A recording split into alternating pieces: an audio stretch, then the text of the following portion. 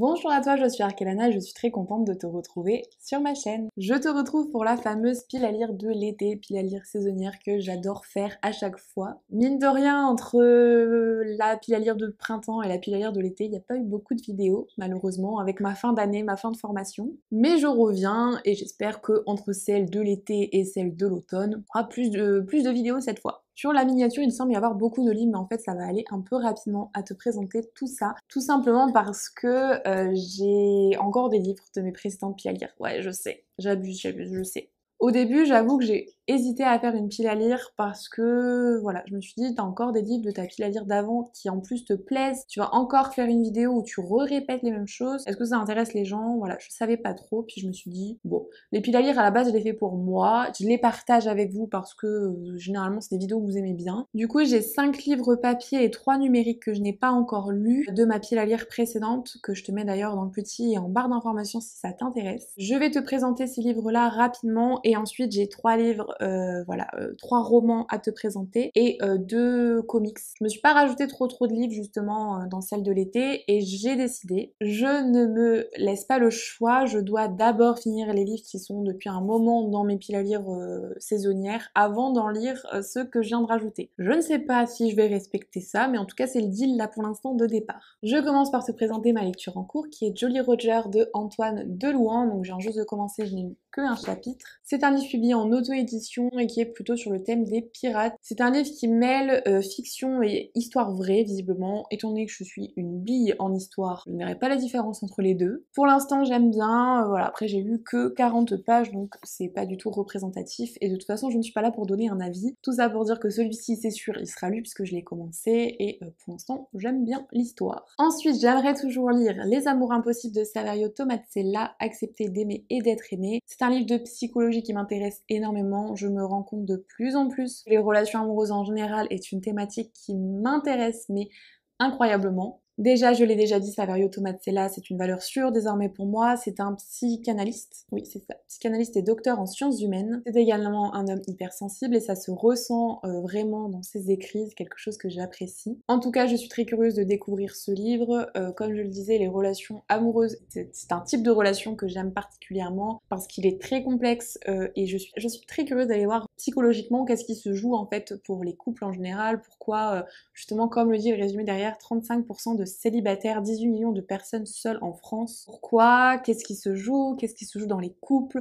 Pourquoi les relations amoureuses sont des fois beaucoup plus complexes que des relations amicales? Qu'est-ce qui se joue dans l'esprit des personnes? Comment ça se passe dans la société? Bref, bref, bref. Vous l'aurez compris, c'est quelque chose qui psychologiquement m'intéresse beaucoup, donc euh, j'ai hâte de lire ce livre et d'en comprendre un peu plus sur les relations amoureuses. Ensuite, j'aimerais encore une fois toujours lire entre mes mains Le bonheur se faufile de Agnès Martin Lugan. Je n'ai pas trop grand chose à en dire parce que je ne sais rien du résumé. Agnès Martin Lugan, c'est une valeur sûre. C'est un petit livre qui fait même pas 300 pages, donc qui va se lire très très rapidement. Celui-là, ça fait déjà la troisième ou la quatrième fois que je te le présente, et en plus, je t'en ai parlé dans mon précédent point lecture sur euh, quand je te présentais le livre Mentor. Je te parle de Double Face de Yannick Giamona. Euh, c'est un thriller et justement, j'ai lu mon premier thriller assez récemment. J'ai hâte, hâte, hâte de découvrir celui-ci qui est un, livre en auto-édition. Je l'avais pris en 2019 euh, lors d'un salon où j'ai rencontré euh, Yannick Giamona et je veux lire ce livre. Comme je le disais, de toute façon, je me suis pas laissé le choix, il faut que je lise d'abord tous les livres que je suis en train de te présenter à la suite avant de lire euh,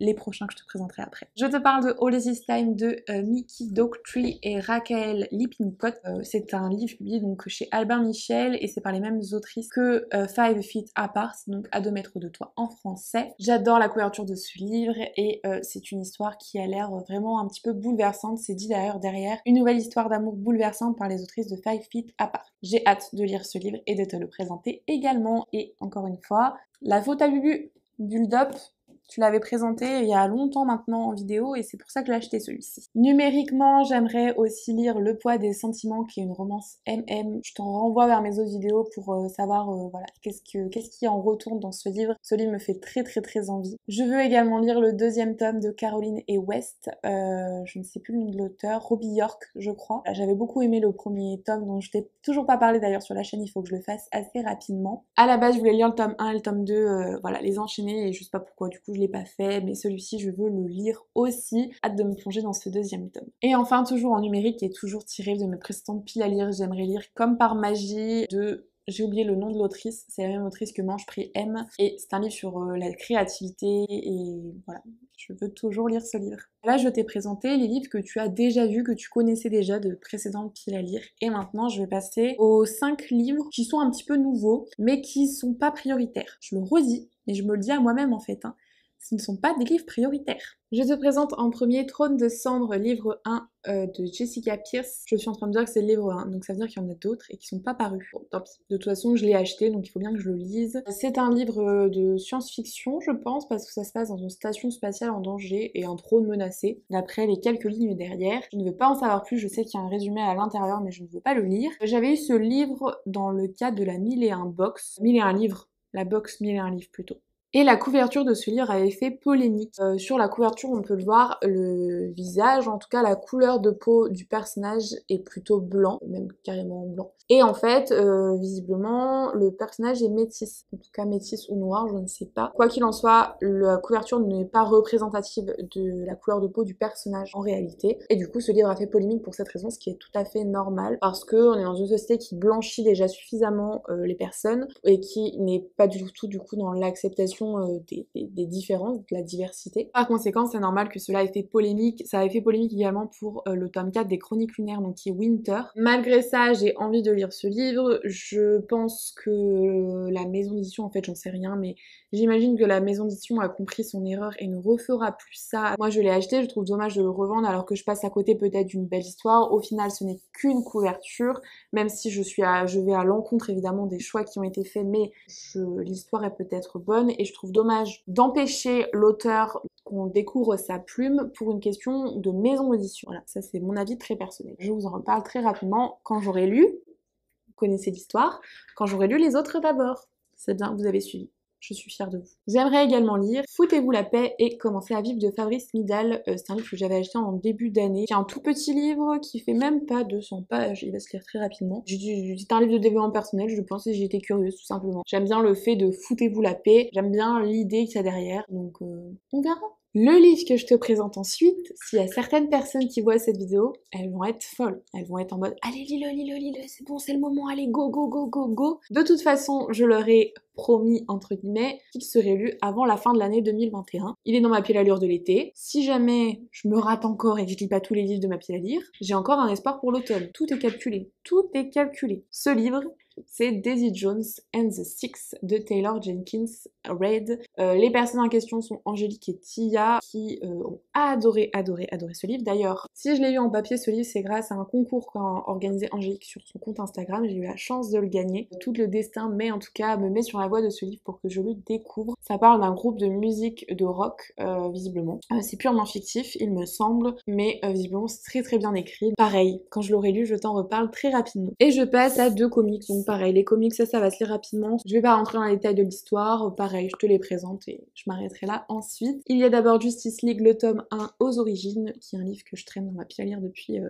longtemps. Euh, je suis plutôt Marvel, je suis pas trop DC Comics, mais j'étais curieuse de le découvrir celui-ci. Et ensuite, parce que je vais pas faire trop de trahison non plus, je vais lire Avengers, l'âge des héros de euh, Brian M. Bendis et John Romita Jr. Voilà, euh, voilà, il est assez, assez gros, mais pareil, ça va se lire vite quand même. Je suis en train de perdre la jaquette. Celui-ci est depuis un petit peu moins longtemps dans ma pile à lire, mais euh, j'ai envie de le découvrir quand même parce que bah, les comics, voilà, comme je le disais, ça se lit rapidement et je trouve ça dommage d'en laisser traîner dans ma pile à lire alors que bah, je pourrais les lire justement. Et voilà un petit peu pour les livres que euh, j'aimerais lire du coup pendant euh, cet été. L'été se passe donc, alors j'ai plus les dates en tête, mais je crois que c'est du 21 juin jusqu'au 20 quelque chose septembre. Je me répète, mais n'hésite pas à liker la vidéo pour soutenir la chaîne et surtout à me mettre un commentaire. Je t'invite à me dire quels sont voilà prochaines lectures, qu'est-ce que tu as prévu de lire dans ta pile à lire? Qu'elle soit de saison ou mensuelle ou que tu n'en fasses pas du tout, n'hésite pas voilà, à venir papoter avec moi, me dire si tu as lu un de ces livres, si tu me le recommandes. Quoi qu'il en soit, j'ai hâte de discuter avec toi, que ce soit en commentaire comme je le disais ou sur Instagram. Et quant à moi, je te souhaite de très bonnes lectures. Comme d'habitude, je te fais de gros bisous et je t'envoie plein d'ondes positives.